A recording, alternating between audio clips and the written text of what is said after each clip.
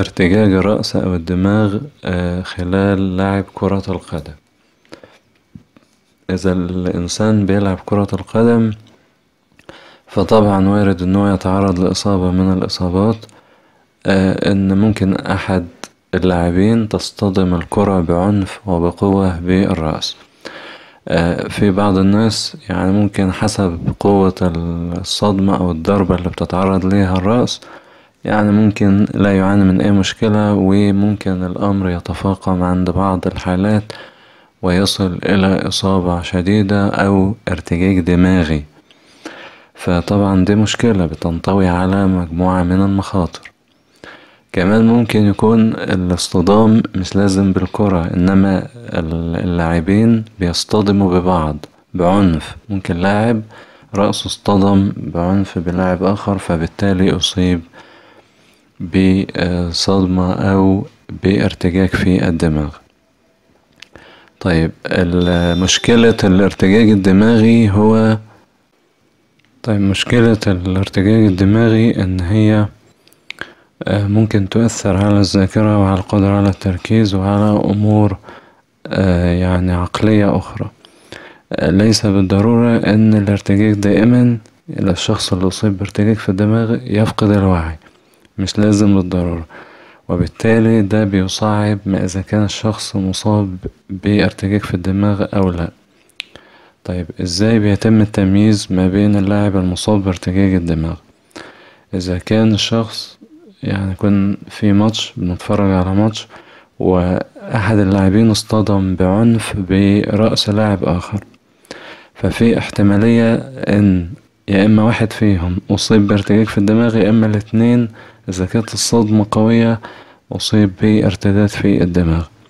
بنميز الكلام ده من على بعد من مجموعة من العلامات.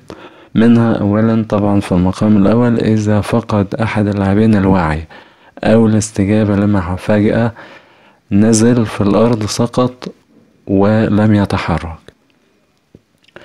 أو يعني هو عينيه مفتوحة ومدرك لكن فقد حاسة السمع والنطق مش قادر يتواصل مع الأشخاص المحيطين بيه أو إذا الشخص بقى ممدد على الأرض بلا حراك وواجه صعوبة في النهوض أو في بطء في النهوض مش قادر يتحرك مش قادر يرفع جسمه أو يقوم بأي نشاط حركي.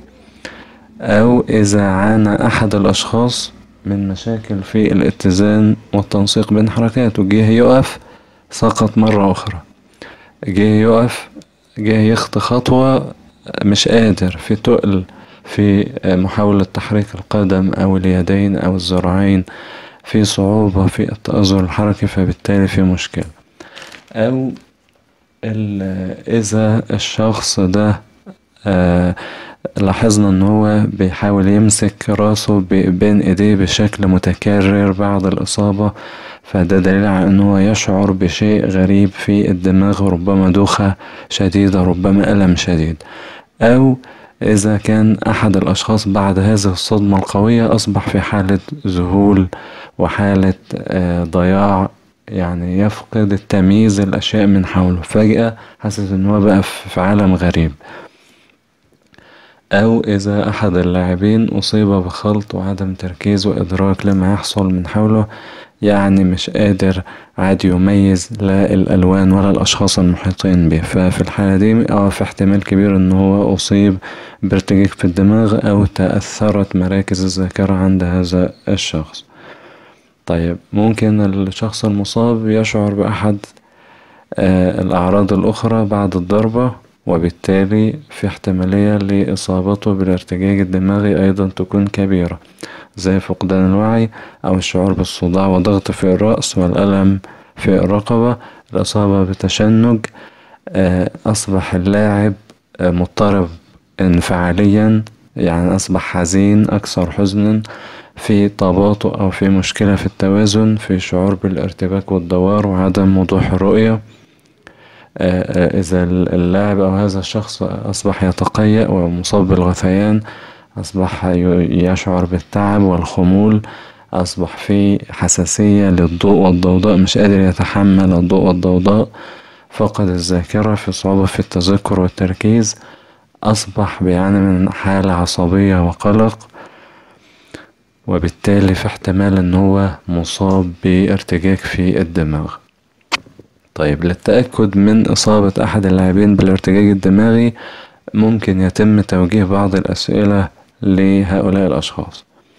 بيبدأوا طبعا بيتدخل الطاقم الطبي أو المسعفين علشان يقدروا يقيموا الوضع بشكل مبدئي. بيبدأ المسعف أو الطبيب المرافق يسأل الشخص أو اللاعب اللي اتعرض لصدمة قوية في الرأس يعني يسأله عن المكان اللي هو فيه. انت فين دلوقتي؟ يبدأ يسأله مثلا عن جزء محدد في المباراة انت في إحنا في الشوط الأول ولا الشوط التاني؟ مثلا يبدأ يسأله مين اللي جاب آخر جون آخر هدف. ممكن يسأله مثلا آخر مباراة انت لعبتها كانت إمتى؟ طيب كانت نتيجة آخر ماتش انت لعبته إمتى؟ طيب المنتخب اللي انت كنت بتلعب معاه فاز وفاز بكام هدف؟ المهم بيبدأ يسأله أسئلة تستدعي معلومات من الذاكرة بعيدة المدى علشان يقدر يحدد هل هذا الشخص اللاعب المصاب يعني قادر يستجيب وقادر يميز الأشياء أم أن الضربة قوية أصابته بفقدان للذاكرة. طيب في حال أصيب أي لاعب بارتجاج دماغي طبعا بيتم توقيفه فورا عن اللعب وعدم إعادته إلى أن يتم الانتهاء من التقييم الطبي الكامل. وفي الحالة دي قالوا إن يجب ترك أي لاعب يشتبه بإصابته بالارتجاج إن هو يستريح ومينفعش نسيبه لوحده لازم حد مرافق ليه. وطبعا بيمنع من إن هو يكمل باقي المباراة. يعني ممكن في بعض اللاعبين يضطروا إن هم يخرجوهم من المباراة. وبيمنع طبعا إن هو يمارس أي نشاط ممكن يعرض حياته للخطر زي قيادة السيارة أو الدراجة لأن هو ممكن يكون لازال في مرحلة عدم استقرار. ممكن يصاب في أي لحظة بمشكلة عصبية تجعله يفقد التحكم في جسمه فبالتالي يقوم بحادث سواء كان سيارة أو دراجة. بيتم وضع هذا اللاعب تحت الملاحظة فترة كافية ممكن أيام بعد تعرضه لهذه الإصابة للتأكد من عدم وجود أي مضاعفات خطيرة. إصابات الرأس من الإصابات القوية من الإصابات التي ينبغي الانتباه ليها لأنها ممكن تشكل خطر كبير جدا على حياة الشخص اللي بيتعرض ليها.